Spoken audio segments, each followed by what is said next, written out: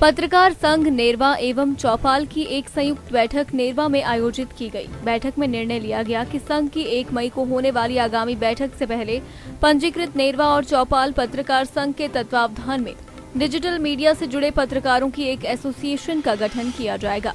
इस एसोसिएशन में digital, live एवं वेब पोर्टल से जुड़े पत्रकारों को एक मंच पर लाकर पत्रकारिता को निजी, स्वार्थ और राजनीति से अलग रखकर समाज के चौथे स्तंभ को मज़बूत करने का प्रयास किया जाएगा।